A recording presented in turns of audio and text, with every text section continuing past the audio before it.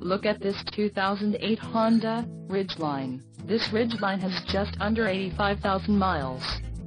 For your protection, a warranty is available for this vehicle.